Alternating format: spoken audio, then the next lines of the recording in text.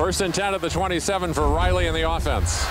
Ross in motion around the left side, but it's a handoff to Jahvid Best. Best is up the middle. It's a foot race. He's down to the 40. He's down to the 30. Cuts inside. Cuts outside. Stays on his feet inside the five into the end zone. Touchdown Bears! Oh, what a bonanza! Incredible run. Uh, well, I just had great blocking up front, and then I went through my reads and then found a hole, and then Tuck escorted me to the end zone, which I needed. So I'm thanking all my guys for that. Why should we be surprised anymore by Jahvid Best, 73-yard touchdown. And they have a bona fide Heisman Trophy candidate at tailback in Jahvid Best. Jahvid Best is hands down the best running back in the country.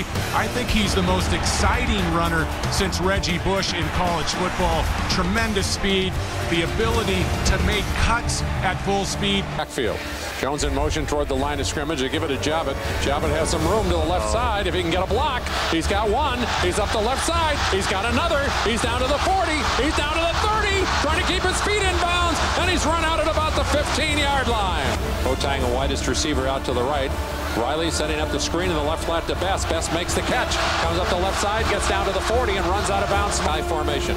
They give it to Jahvid. Jahvid tries to dive into the end zone. Did he get there?